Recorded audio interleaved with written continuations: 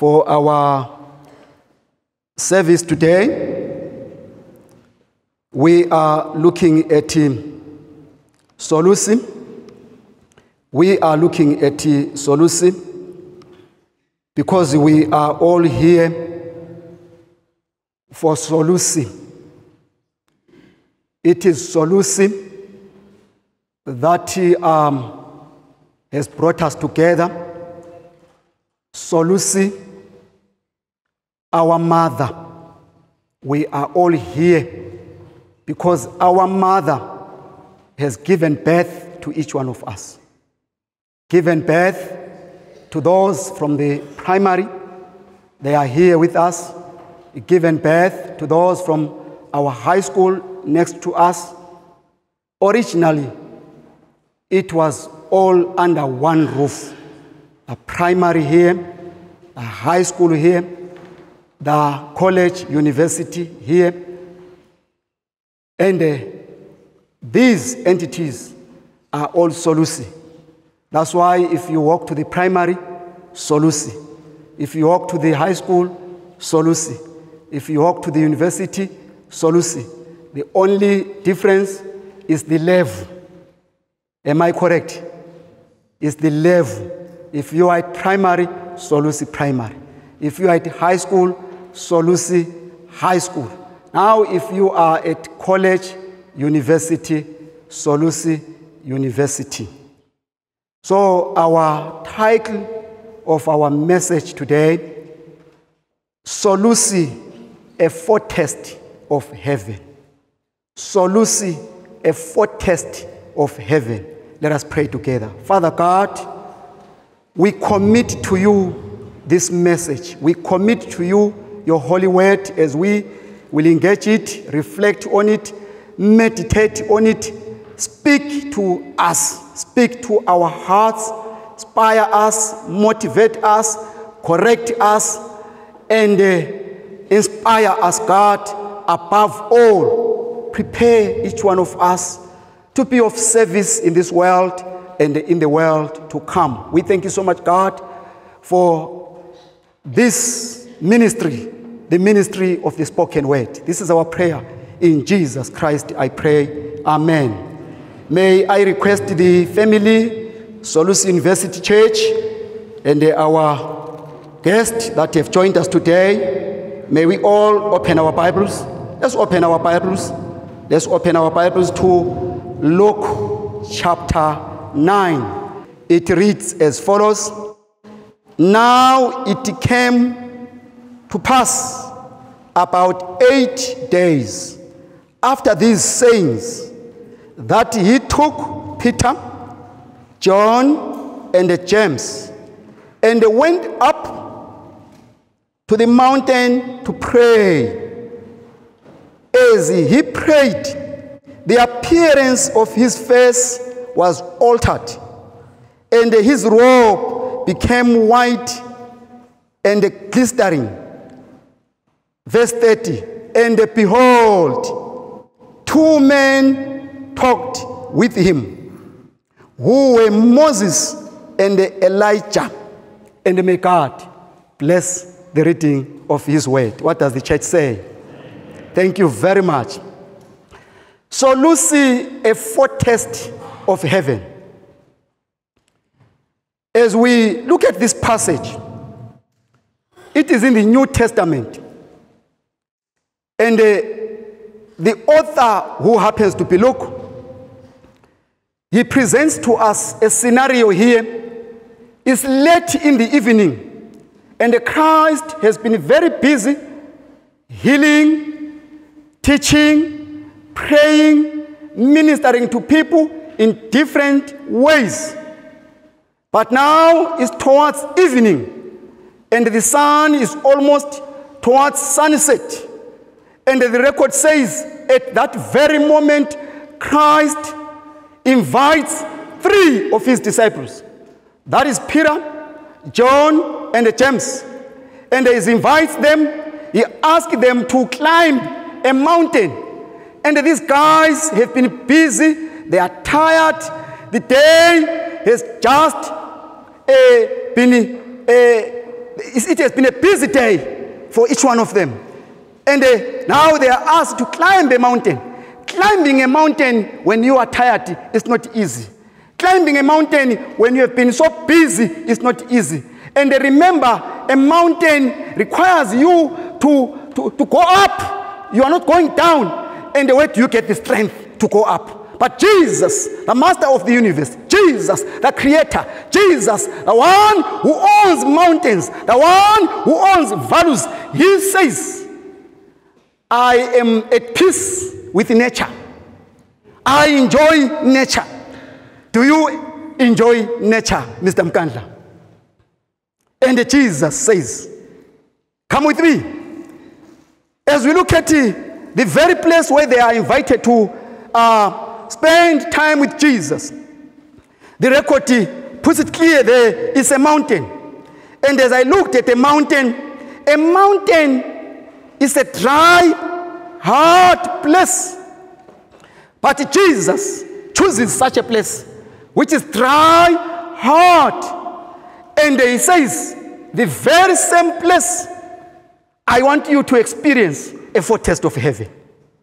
A mountain is a desert place. Very few vegetation, vegetation are able to uh, grow from a mountainous place. Very few, if none. We also have mountains here around Solusi. Not only uh, a, a mountainous place becomes very difficult for vegetation to grow, but a mountainous place is a home for snakes and other dangerous animals.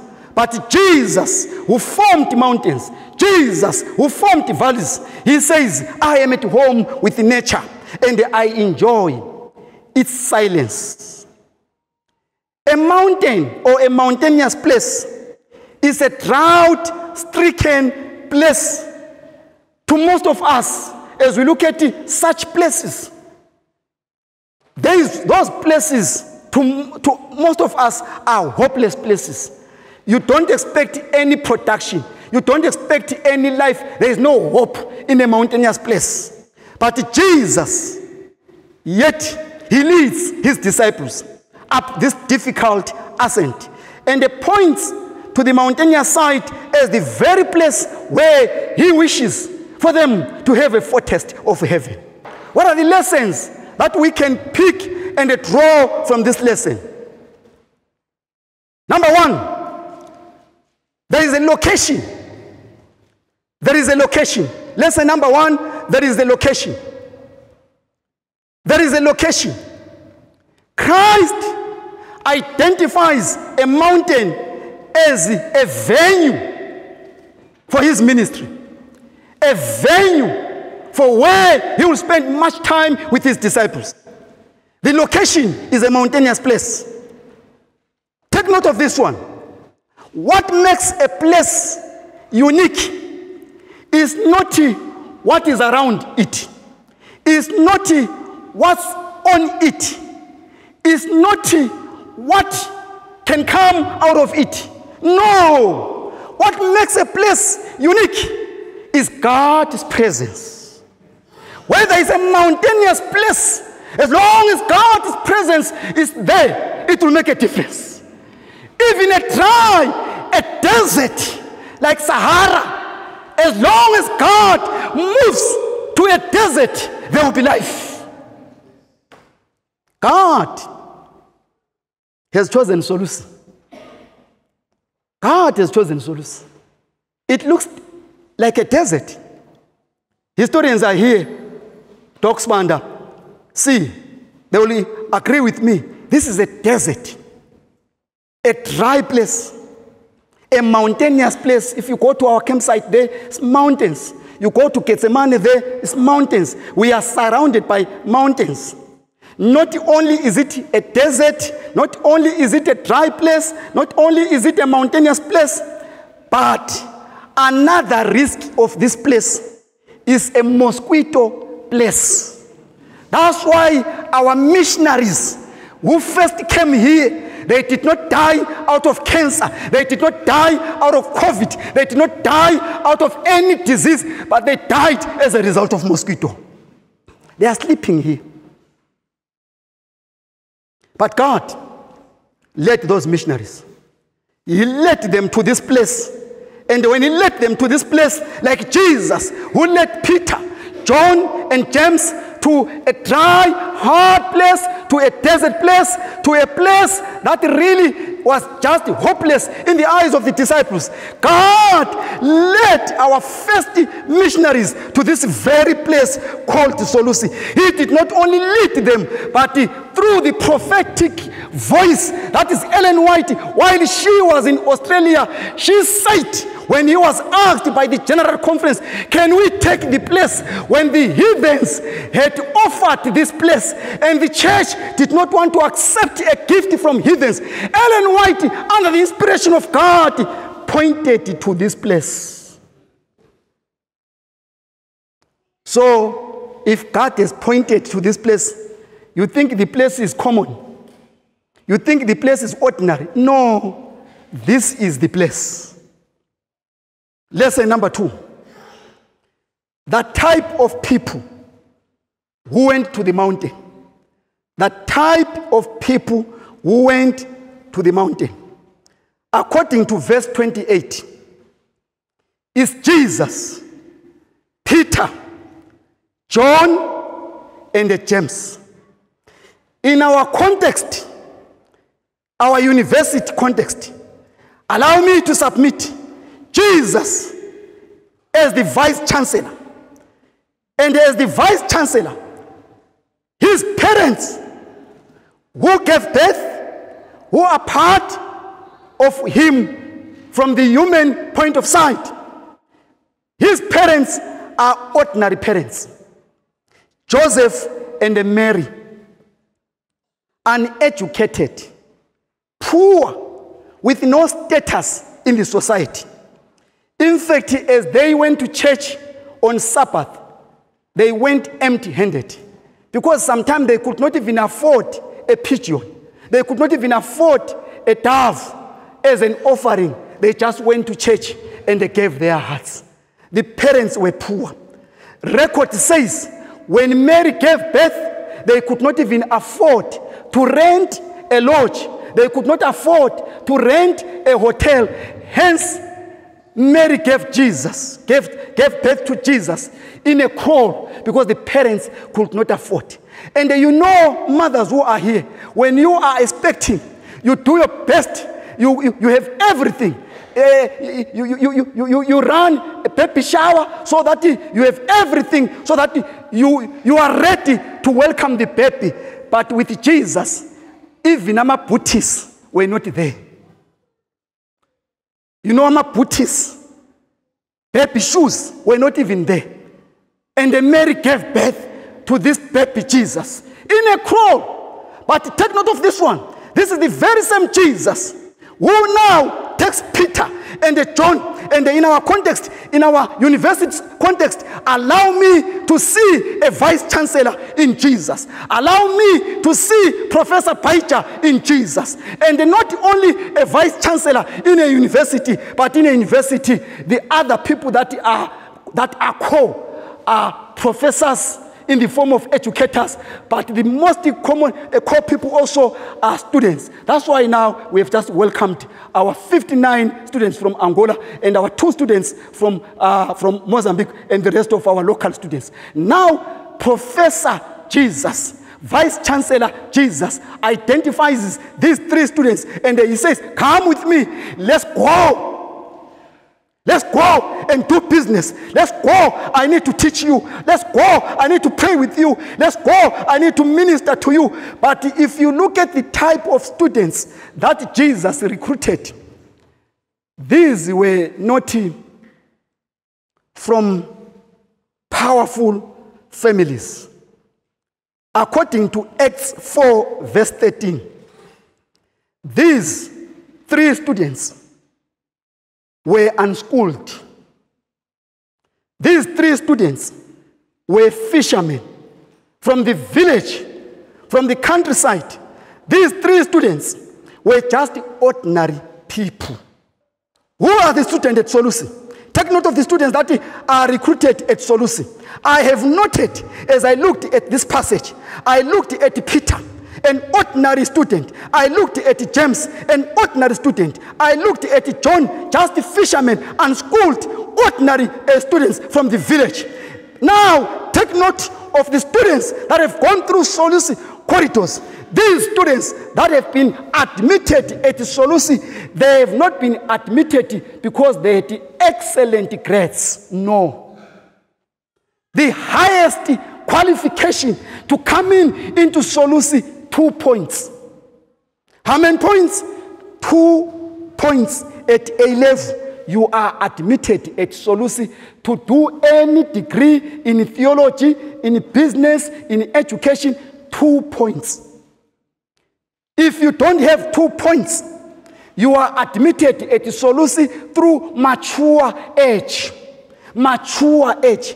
25. If you are struggling with uh, two points, just wait for 25 years and have five or less. We shall admit you at Solusi. Just wait. The reason is so that you are able to cope up with university life. It's not an ordinary uh, uh, qualification, it's a highest qualification. As you go out to do recruitment, go with these packages. That is Solusi University, is God's university. It will give you a foretaste of heaven. It has no hopeless cases. Everyone has a hope through Jesus. Did you know that Peter and John and James who were unschooled, who were ordinary, who could not even write and do much. But now, when they were in the hands of Jesus, when, when they were now in the master's service, working for the master, being part of the master, being part of the environment which had the master's present at the mountaintop there, the record says they were changed they were glorified. Ah! Not only that, are you aware that Peter, James, and John are among the 27 authors of the New Testament? From mature age, admission into Jesus' ministry, the ministry of the whole universe, the ministry of redemption, not even an ordinary uh, ministry, not an ordinary university, the university of heaven, the university that deals with salvation, that deals with redemption. Peter, John, James, from ordinary to authors of the Bible. Peter authored two, first and the second. John authored five. Uh, John, the gospel, according to John, the gospel that comes after Luke that is his first book. The second book, First John. Second book, Second John. Third book, Third John. Then the last one, I saw a new heaven. From mature age to a new heaven. From intensive to a new heaven. That is John. Why? He was in the University of Jesus, a foretaste of heaven. God can do anything with a human being. All what we need to do, let's give God an opportunity. Solusi University, let's go out there and bring human beings to Solusi University, male and female, and let us restore them in God's image. This is the purpose of Solus. I look forward, I look forward as a Solusi church member. My membership is at Solusi. I look forward as a Solusi University church member that in our website we want to see powerful testimonies of students that came to Solusi who in the eyes of the world appeared hopeless. I know quite a number of them. Some of them now are uh, managers, CEOs of big companies not only here in Zimbabwe, but even in New York, some in Australia, some in England, but they went through the corridors of Solusi. This is Solusi. It is indeed a foretaste of heaven. It is indeed a place where really human beings are restored. Their dignity is restored. Their spirituality is restored. Their academic is restored. And they are given hope. This is Solusi. it has that potential. Yesterday, an article came, not from WhatsApp, but from renowned papers. 10 top universities in Zimbabwe. We are sitting at number seven, a number that has to do with the holiness. We are very holy. Sitting at number seven. Mfana, come to Solusi. Sitting at number seven. We are not even number eight. We are not even number nine. We are not even number 10, where we are closing the door. Number seven. Are you there? Number seven. Angolan pastors, are you here? You have not come to an ordinary university. You have come to a university that is of renown. Sitting on number seven. Go to Angola there and tell the good news that we made a good decision to join Solusi, a powerful university, a university of God. What is our pattern now? As a university, our pattern, Mr. Vice Chancellor, is to give all our students a foretaste of heaven, like what our uh, predecessors, uh, leaders, those who have gone ahead of us, who have led Solusi, they gave every student that came to Solusi a foretaste of heaven. Our pattern, Mr. Vice Chancellor, through our prayers, through our ministry, is to give a manifestation of God's glory at Solusi University. Our pattern, Mr. Vice Chancellor, like Jesus had a pattern in his heart. What was Jesus' pattern on his heart on that mountain? The record says he really cried, he really prayed, he really agonized with God. And the record says in verse 29 as he agonized, as he prayed, as he really interceded, the record says then his appearance and the form was altered. Our record, our, our pattern at Solusi University is that if you are a faculty member, please educate until those who are going through your class are altered in terms of character. Those who are going through your class, excellency is instilled. May God really help us. When you are teaching, I remember I sat in Dr. Hitler's class with Dr. Spanda. We were doing Greek and the Hebrew and the prophets of Israel. Gentlemen and the ladies, we sat at the feet of Gamaliel. We were taught by Dr. Zebron Ngube. He was teaching us introduction to pastoral ministry. Hi, hi, hi, hi. Dr. Zebron Ngube taught us. We sat at the feet of Mfune. These are the guys who went through Solusi. They did wonders. Now, today, we have Dr. Spanda. If you sit at the feet of Dr. Spanda, this man is gifted. When it comes to historian, whether you are jealous, this man is gifted. This man can teach. This man can teach. He can tell you about some of the people, and you even wonder, did these people exist? Where am I reading and where is he reading? The man can teach. Solusi University, students who are in faculty of theology, you are in safe hands. In the hands of Professor Zondasara, in the hands of Professor Spanda, in the hands of um, Chinguri, in the hands of Pastor Ndlovu, you are in safe hands. In the hands of Professor Chwara in education, in the hands of Nonku, in the hands of Manlufu, you are in safe hands. I want to challenge all of us let us talk solusi, talk solusi, talk solusi, a foretaste of heaven. As I conclude, did you know that invested Jesus did an excellent job until his form was altered. And uh, as he did that, heaven just opened. Because heaven will respond. Where there is excellence, heaven will respond. When our path are well cut, heaven will respond.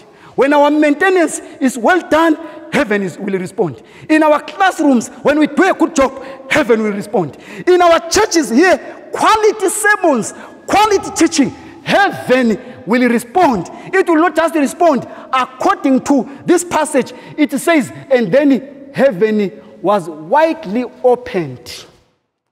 That main gate must be open for students to come in. But for students to come in, they want to hear what is happening at Solus, what is happening at our cafeteria. Are our dishes a foretaste of heaven? Are our lecture halls a foretaste of heaven? Are our offices a foretaste of heaven? Are our sermons a foretaste of heaven? Are our prayers really dealing with the demonic forces. There are demons here at Solusi, and those who are asked to pray, the prayer band, pray and deliver people from demons so that people will know that at Solusi I can be delivered in the name of Jesus. Verse 30 says, Then abadala, abadala, not those from the ground, no, elders this is Luke 9, verse 30. It says, Behold, there were two guests, heavenly guests from heaven. And who are these? This is Moses, Elijah, responding to the experience that was on the mountain, the glory that was on the mountain. They are from glory, and the glory cannot keep quiet. If the glory is on earth, glory from eternity will come down and they meet and they join with the glory from this from from from down here and the moses and the elijah came down and they witnessed the glory it is my wish that we all work together and maintain the glory that has visited Solusi. And we keep the glory that has visited Solusi. Let us not allow anything that will chase God from Solusi. When God is here, the soil will produce. When God is here, the farm will produce. When God is here, the maintenance will do well. When God is here, in our lecture halls, things are going to happen. When God is here, we shall be visited. Not only from those from GC, but even from division, even from union, even from conference, and even from around us here because the flood of glory is at Solusi University. Is it your prayer today to be part of this great place and contribute for the flood of glory to stay at Solusi? You will use your office, you will use your, your, your whatever task God has given you to make this place a foretaste of heaven. If you are to cook, you do well so that those that eat your food will really say a foretaste of heaven. If you are teaching, you are going to teach to your best so that those who go under your hands will say, Indeed, I've gone through hands, I've been molded, I am ready to go and save. If you are here, may I invite you to stand with me? You are saying, Pastor, I want to be part of those who are going to alter the record says, as Jesus prayed, you, you are not supposed to pray only, but your, your task is to educate. You want to educate in a way that you will alter people's shape, you will alter people's form, and then make them really ready for heaven. Is it your prayer that through your service you want to change someone's life? Is it your prayer? I want to invite you. Is it your prayer? I want to invite you in a serious form. Is this your prayer to alter someone? Is it your prayer? As a church elder, is it your prayer? As a church member like me, is it your prayer? As a student, is it your prayer that your life at Solusi, you just want to contribute towards this place? If this is your prayer, rise with me as I ask Pastor Spanda to come forward and pray for us. Pastor Spanda, come forward. And through the ministry of Pastor Spanda, we want to plead for your cause, want to plead for your family, want to plead for your life. Please accept a blessing from above. Over to you, Pastor. Shall we bow our heads and pray? Our Lord and Father, we thank you for such a kindly message.